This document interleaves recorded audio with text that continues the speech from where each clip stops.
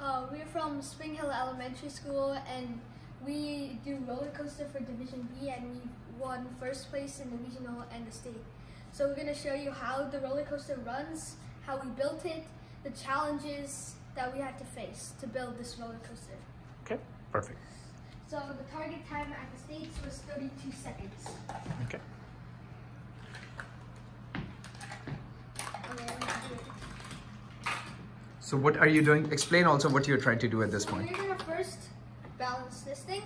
We, we, uh, our roller coaster, we need to balance our roller coaster first. That's the first step that we always do. Slight imbalance can cause the slopes to go wonky. Okay. And we're adding ones here because if we lift this guy right here a little bit, it will turn into the middle. So show me what you guys are putting under, underneath the roller coaster here. These a What? little These are basically just cut up popsicle stick pieces. Cut a popsicle stick so that you can balance the table. Okay. and we just label them one, two, three based on their height. So this looks in the middle to me. How about to you? Good? Yep. And then we have vertical balancing too, which we created, which we made. Yeah, that's also pretty much the center. So now we're just gonna see how it runs. We have to use gate run, gate one, blue and screw.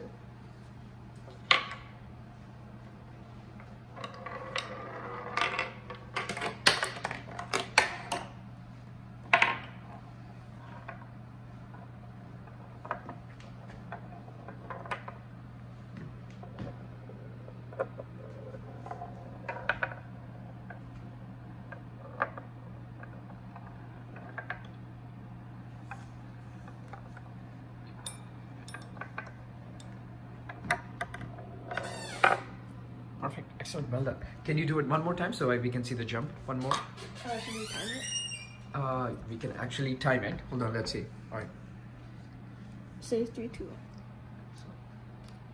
Okay. So run the whole thing just like the way. Okay. Perfect. All right. Three, three, two, one, go.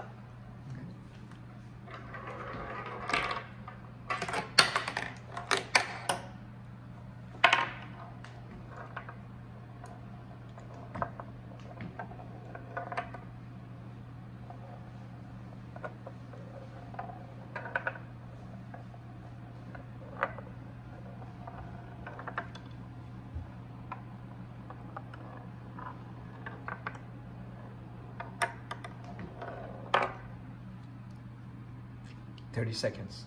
Perfect. Okay. So why don't you guys talk about how you uh, built this? So Brian. So basically, we had to come up with mechanisms to change the time based on what they give us at the actual event. So um, first, we had to be able to change the slopes, uh, one and two. So for the first one, we can uh, actually remove these and like place them in different positions so that um, it uh, lowers or uh, or like makes the incline higher. So.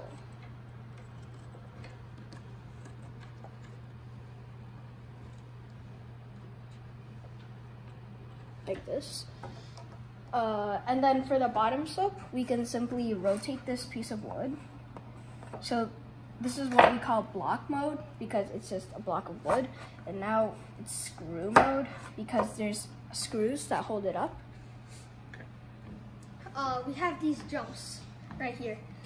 Two big jumps. Uh, and we decided, based on the rule book, we can actually have a loop.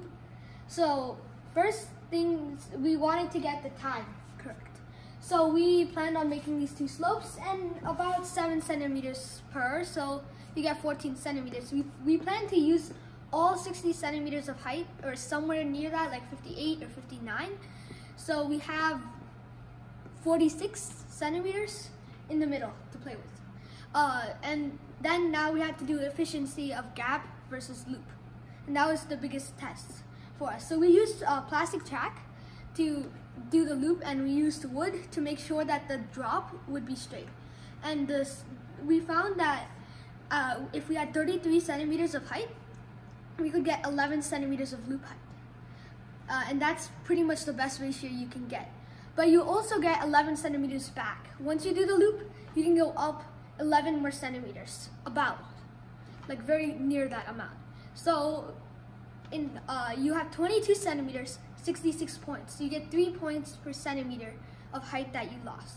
For gaps, we were able to figure out that with 30 centimeters, including all of this height from here, we would be able to get uh, 23 centimeters at a good angle.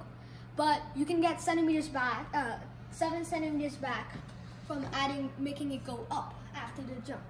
So seven centimeters back, and uh, you waste 30, um, 30 uh, centimeters of height.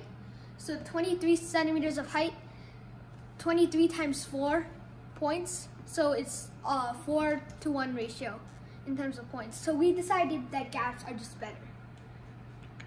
Perfect. Anything else that you Uh, guys yeah, want to talk about? Some of the challenges that you guys ran into? So our first struggle, actually our story, we first had the invitational and we built it out of foam and that was a huge disaster. It we had like 45 seconds to make and that did not work for us. We tried, we barely got to 30 seconds and didn't work. So now we decided to do a different strategy maybe to get the time. So we've seen in different various sources that there's this half, half pipe where you can go up, down, like that, Back and forth. back and forth pretty much. It's like this circ, it's kind of this curve and it just goes back and forth. But is it consistent? That was the main question. One time we got like 23 seconds, another time we got 40 seconds. Like 17 seconds of variation. How are we gonna nail the target time? And that is where we did the slope here. That is pretty much the best way you can get consistent times. You can get, as long as the balancing is the same as before, you're gonna get the same times within a second. Can you run a 60 second real quick? A 60 second. Yeah. So we have to go pretty much on our slowest. So your variation is 30 to 60. Can you do a 60? Yeah, let's go to blue.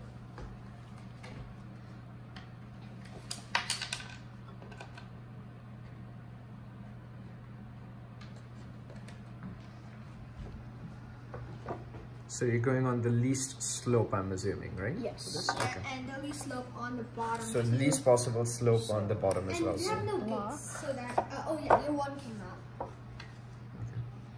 We have to do the least possible on the slopes. Okay. So Yeah, no gaps. So these are little gates that you guys have built yeah, that so allow like you we to. can make a shortcut. So like normally the ball would roll through all the way Okay. until it goes through the gap, but we can make it go through this lane and it's like a shortcut. Uh, Okay. Yes, Okay. the shortcut way Okay. to go to the same point. Okay. Another struggle we had that I just wanted to share, we put the gates at the top, which was the biggest fundamental error we made with this current roller coaster design. Uh, what saved us was actually this tube right here, which was 3D printed. But the gates at the bottom would probably have been a better strategy because the balls go at different variations uh, into the gap. So without this part, it sometimes would go here and work fine, or sometimes like twist and go in different directions because the hole was too big for the ball.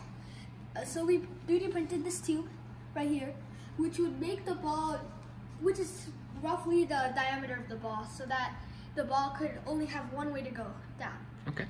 So let's run this. Yeah, let's run uh, 60 seconds. Okay. Okay. All right. Let's see. All right. So let's see zero Are all the marker. All right. Closed. All right. Three, two, one, go.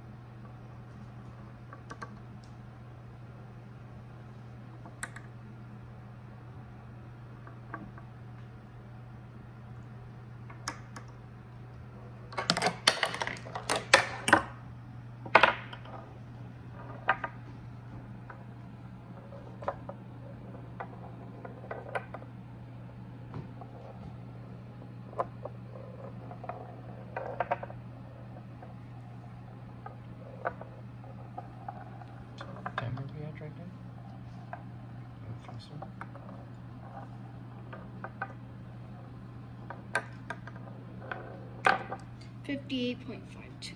Fantastic. Anything else you guys want to say?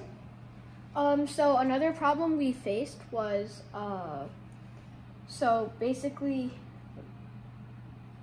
uh, so when it was coming from here, uh, it would kind of stop sometimes. So we just added a bit of, um, popsicle, a popsicle stick we taped in, so it would always, uh, it would never get stuck. Okay. Yeah, so that it would go into the hole at this point. We realized that if the hole, if it would go into this hole from the front, then it would fail. It Yeah. wouldn't make it all the way, just go up and then back down. And So yeah. basically, from adding the piece of um, popsicle stick, it ensured that the ball entered the second gap entrance in the middle of the hole. We cut here. Perfect. The Sounds biggest, uh, so the biggest materials we kind of used is wood, nail guns, and just to connect everything. We built the frame, all of that. But the biggest learning lesson from this is to always spend some time thinking on design first before just jumping into things. That's how we figured out that two gaps was definitely the best strategy. okay. Perfect. Sounds good. Excellent. Well done, guys. All right. Say bye. Bye. Bye.